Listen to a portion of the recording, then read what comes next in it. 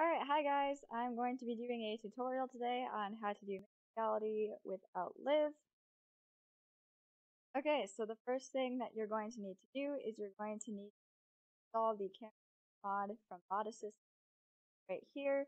Once you have that, click installer update. Well, once you have the camera mod installed, um, first you're going to open up OBS, then you're going to go to capture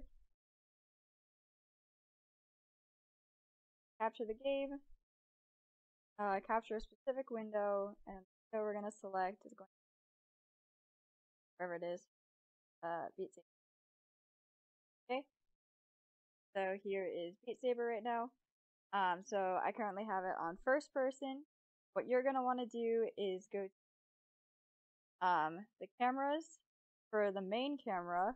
You're going to want to make that instead of first person, what you're going to do is make that third person. So my main camera here is third person.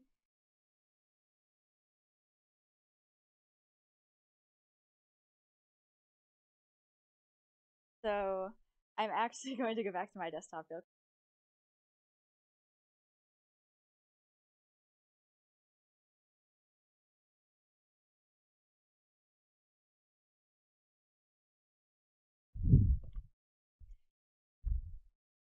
Okay, so once you have your third person gameplay up, um, you want to make sure that you have everything situated how you want it.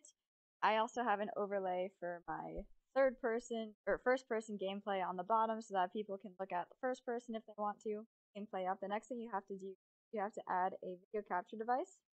In this case, I just added a camera. Um, you want to make sure that the in real life camera and your camera 2 camera are going to be above each other, but I'll get that in a second. Um, so now to get this to actually be keyed out, what you're going to do is you're going to click on this, go to filters, um, and I have chroma keys on. So to add chroma key, you're just going to go to the plus sign and click chroma key. Um, and so I'm just going to unhide chroma keys. I have two just because I have a weird shadow on my green screen just because I didn't put it up entirely straight, so it's sagging a little bit. So once you have that, now you can see the gameplay is overlaid on top of my green screen. So now what you're going to have to do is you're going to have to crop this. I'm actually just going to head back to my computer, crop it. To do that, you're going to press Alt, and then you're just going to drag. Alt, drag. I'm gonna do the other side. You also gotta do the top and bottom, don't forget about that. Alt, drag. Drag. Once you have that, now you'll be able to just step in and now you have that part of your mixed reality set up all good. Okay, so the next thing you got to do now is you got to make sure that the camera 2 is lined up with your uh, in-person camera. So what we're going to do is we're going to make sure that this is lined up by going into the game. The way you're going to line it up is by changing the field of view here. The easiest way to do this is to just go into a song um, and we're just going to pause the song and see where our sabers are. So go into the song, pause, and now we're going to see where our sabers are. You can see my sabers are a little bit lower than me. So you can change the field of view, but you can also make the camera smaller. I'm kind of large on the camera right now. As you can see, I'm taking up most of space. So what we're going to do is we're actually going to make myself smaller. Um, capture device. We're just going to make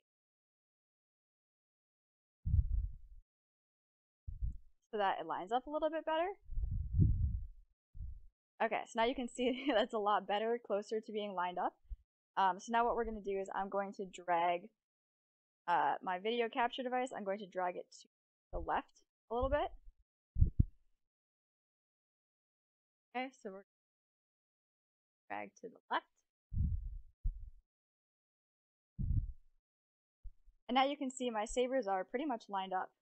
Uh, left one is a little bit off still, but that's pretty much fine. Uh, as long as the one that's closest pretty lined up, then you're good. And now you can see that the game is a little bit ahead of my emotions in person. What we're going to have to do is we're going to have to go to our game capture, and we're going to go to filters, and you're going to add a filter, and the filter you're going to add is going to be render delay.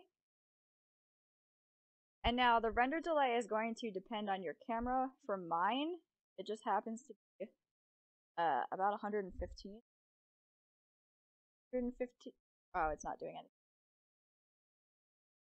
Uh, 115 milliseconds.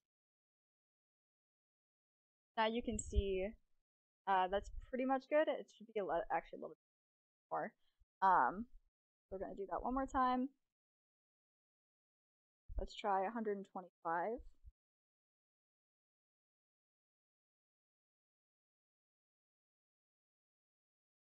Okay, now you can see that that's pretty good. Uh, so sabers are lined up a little bit pretty good. Uh, I might want to increase that a little bit. Uh, just that little bit more lined up, but I mean that's pretty good. And that's basically all there is to doing mixed reality this way. Um, so yeah,